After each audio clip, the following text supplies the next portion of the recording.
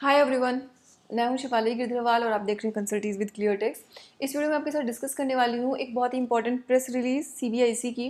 पिछले कुछ टाइम से सोशल मीडिया में इस तरह की बातें चल रही थी और ग्राउंड लेवल पे भी काफ़ी लोग इस चीज़ को फेस कर रहे थे कि जो टैक्स ऑफिसर्स हैं, वो कई बार फोर्स करते हैं कि आप जो पेमेंट है उसको ज़बरदस्ती कैश लेजर से कीजिए आईटीसी यूज़ मत करो। और मैंने ये चीज़ देखी है कि आईटीसी को ब्लॉक करने का जो रूल है एटी सिक्स ए उसका भी बहुत मिसयूज़ होता है। एटी सिक्स ए के केस में वहाँ पे कुछ स्पेसिफिक रीजंस लिखे हुए हैं जिसकी वजह से एटी सिक्स ए का यूज़ हो सकता है। यानी कि वो हर केस में यूज़ नहीं होता।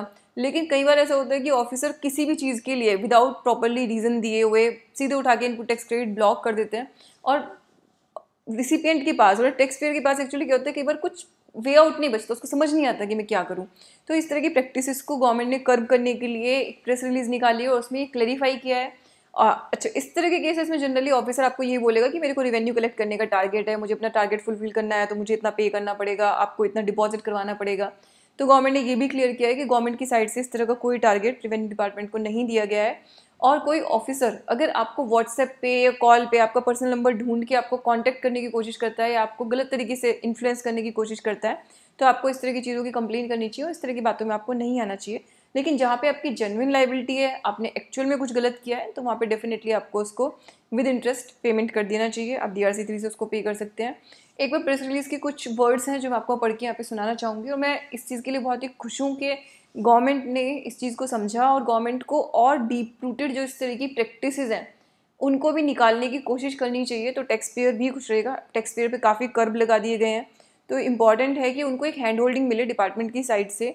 कि उनकी जो छोटी छोटी गलतियाँ हैं, जो क्लरिकल एरर्स है, जो एक्चुअली में अपराध नहीं है एटलीस्ट उनके लिए उनको पनिश ना किया जाए तो एक हैंड होल्डिंग और एक इंस्ट्रक्शन एक directions to the entire department कि भाई हमें किस तरीके से एक टैक्स पेयर के साथ डील विद करना है। कुछ दिनों पहले वैसे मैंने गुजरात की भी एक डॉक्यूमेंट देखी जहाँ पे जो टैक्स पेयर्स हैं, उनको कैसे प्यार से हैंडल करना है, वो सिखाया जा रहा था ऑफिसर्स को। आई थिंक लॉन्ग टर्म में अगर इसी तरह की प्रैक्टिस गवर्नमेंट रखेगी तो बहुत अच्छे रिज़ल्ट आ सकते हैं। तो एक बार प्रेस रिलीज़ की वर्ड्स में आपको पढ़ के सुना रही हूँ।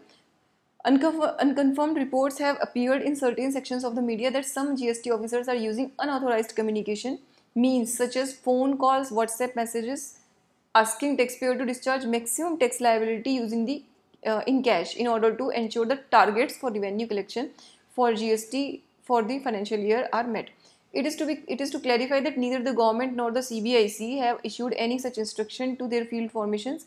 As such, taxpayers are free to utilize their input tax credit available in their credit ledger as permissible in law to discharge their GST dues for the month of March 2021 ध्यान रखिए, हम लोग हमेशा बंधे होते हैं लॉ से। कई बार कोई सर्कुलर आता है, कई बार कोई ट्वीट भी होता है तो मैं हमेशा आपको यही कहती हूँ कि सबसे पहले अपने लॉ को जाके ना बेसिक लॉ को, उसको जाके रेफर करो। जो चीज़ वहाँ लिखी है अल्टीमेटली वही आपको बाइंड करेगी। कुछ टाइम पहले सी का एक ट्वीट आया, उन्होंने बोला, आपको इनपुट टैक्स क्रेडिट लेने के लिए टू बी को कंसिडर करना है। So you need to understand कि tweet is not a legal advice वो कोई लीगल एडवाइस है, ना वो कोई प्रोविज़न है, ना लॉ के अंदर उसकी कोई बाइंडिंग होती है तो आपको ये ध्यान रखना है कि उन्होंने भले ही आपको एडवाइजरी बोल दिया कि आप टू बी को यूज़ करो, लेकिन आप अपने दिमाग से यूज़ करोगे कि लॉ के हिसाब से सारे प्रोविज़न कंपाइल करने के बाद में आपको क्या क्रेडिट मिलता है। अब अच्छी चीज़ ये है कि हमें उसकी वर्किंग हर महीने करनी पड़ेगी। तो वो टू बी से मैच कर सकता है मोस्ट ऑफ़ द केसेस में वो टू बी से मैच करेगा, लेकिन काफ़ी केसेस में हो सकता है कि टू बी से मैच नहीं भी करे। तो दोनों ही कंडीशन में हमें जो इनपुट टैक्स क्रेडिट लेना है वो अपने लॉ के प्रोविजंस के हिसाब से लेना है। मुझे सिक्सटीन सिक्सटीन देखना है, मुझे सेवनटीन भी देखना है एटीन भी देखना है, जहाँ पे रिक्वायर्ड है। मुझे रिलीवेंट नोटिफिकेशन भी देखने हैं, मुझे सीजीएसटी के रूल्स भी देखने हैं, क्योंकि कई जगह नोटिफिकेशन के अंदर ही जो टैक्स रेट दिया होता है विदाउट इनपुट टैक्स रेट दिया होता है तो मुझे वो सब कुछ भी देखना है। तो यानी कि उन सब चीज़ों को देखने के बाद मेरा जो इनपुट टैक्स क्रेडिट बचेगा, वही मुझे एलिजिबल है और वही मुझे लेना चाहिए। तो इसी के साथ ही वीडियो में क्लोज कर रही हूँ। थैंक यू सो मच अगर आप जीएसटी डिटेल में सीखना चाहते हैं तो फिर आप हमारा कोर्स उसके लिए ज्वाइन कर सकते हैं। हम अपने कोर्स को अपडेट कर रहे हैं, यानी कि जो नए रिटर्न्स हैं थ्री बी के अंदर जो चेंजेस आ रहे हैं, वो सब भी हम उसके अंदर इंकॉर्पोरेट कर रहे हैं डिफरेंट डिफरेंट सेशंस के थ्रू और जो कुछ रिसेंट नोटिफिकेशंस आए हैं, उनको भी, साथ ही जो इंपॉर्टेंट केस लॉज अभी तक चल रहे हैं, उनको भी हम उसके अंदर कवर करते हैं डिफरेंट सेशंस के थ्रू तो अगर आप डिटेल में सीखना चाहते हैं तो आप हमारा कोर्स ज्वाइन कर सकते हैं। अगर आप बिगिनर हैं स्टूडेंट हैं, आपको बहुत ज़्यादा ऑलरेडी टैक्सेशन की नॉलेज नहीं है तो हमारे पास एक स्पेसिफिक कोर्स भी है बिगिनर्स के लिए। आप वो वाला कोर्स जी एस टी का ज्वाइन कर सकते हैं।